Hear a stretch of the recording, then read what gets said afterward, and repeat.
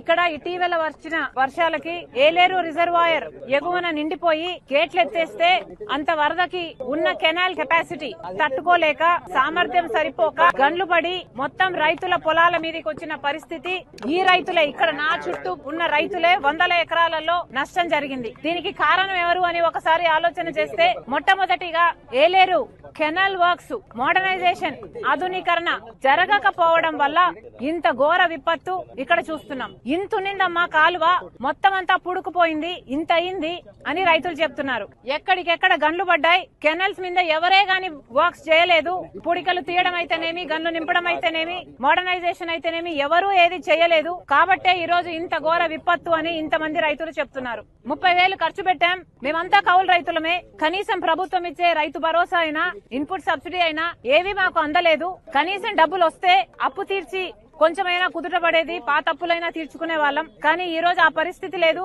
మొత్తం డబ్బు పోయింది. మేమంతా కౌలు రైతులమే. నష్టపరిహారం వచ్చినా రైతుకే వస్తుంది. కౌలు రైతులకైతే ఏమీ రావటం లేదు అని వీళ్ళు వాపోతున్నారు. వీటన్నిటికీ సమాధానం చెప్పాల్సింది ప్రభుత్వమే. అసలు రాజశేఖర్ రెడ్డి గారు ముఖ్యమంత్రిగా ఉన్న రోజుల్లో ఏలేరు రిజర్వాయర్ కింద ఉన్న కెనాల్స్ని మోడర్నైజేషన్ చేయాలి ఆధునీకరణ చేయాలి దానిని ఎక్స్పాండ్ చేయాలి అని రాజశేఖర్ రెడ్డి గారు దానికోసం ఫండ్స్ శాంక్షన్ చేసి శంకుస్థాపన కూడా చేశారు. రైట్ కెనాల్ లెఫ్ట్ కెనాల్ అని పనులు కూడా మొదలు పెట్టారు కానీ దురదృష్టవశాత్తు రాజశేఖర రెడ్డి గారు వెళ్ళిపోయిన తర్వాత తర్వాత వచ్చిన ప్రభుత్వాలు ఒక్కటి కూడా పట్టించుకోలేదు. మన రాష్ట్రం పదేళ్ళ అయింది ఏర్పడి కనీసం రాష్ట్రం ఏడుపడ్డాకైనా ఈ చిన్న రైతుల గురించి వీళ్ళ గురించి ఆలోచన చేస్తారు అంటే ఐదు సంవత్సరాలు చంద్రబాబు గారు ముఖ్యమంత్రిగా ఉన్నారు తర్వాత ఐదు సంవత్సరాలు జగన్మోహన్ రెడ్డి గారు ముఖ్యమంత్రిగా ఉన్నారు.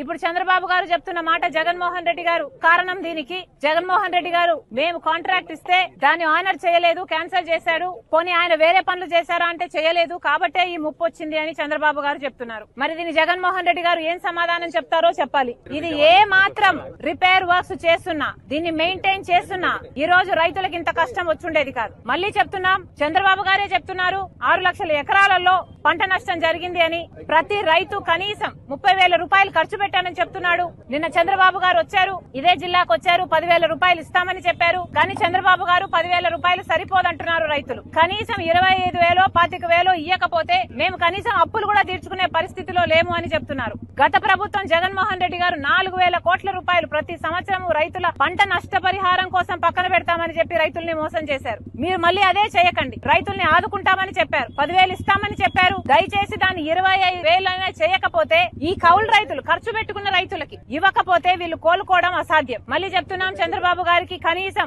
ఆరు లక్షల ఎకరాలలో పంట నష్టం అని మీరే చెప్తున్నారు. ప్రతి ఎకరాకి కనీసం ఇరవై వేలో పాతిక వేలో చంద్రబాబు గారు వెంటనే రైతు కౌలు రైతు ఏ రైతు అయితే ఖర్చు పెట్టుకున్నాడో ఆ రైతు చేతికి ముట్టేటట్టు యంత్రాంగం చూడాలని చంద్రబాబు గారిని డిమాండ్ చేస్తుంది కాంగ్రెస్ పార్టీ. వెంటనే ఏలేరు? కెనల్ వర్క్స్ కూడా మొదలు పెట్టాలి ఎలాగైతే బుడమేరు మీద పనులు జరగాల్సిన అవసరం ఉందో ఇట్లా ఏలేరు అయితేనేమి ఇంకా మిగతా పనులు ఎన్నో ఉన్నాయి. ఎన్నో ప్రాజెక్టులు ఎన్నో కెనల్ వర్క్స్ అన్నిటి మీద అవగాహన తెచ్చుకొని వెంటనే పనులు మొదలు పెట్టాలని కూడా కాంగ్రెస్ పార్టీ డిమాండ్ చేస్తుంది.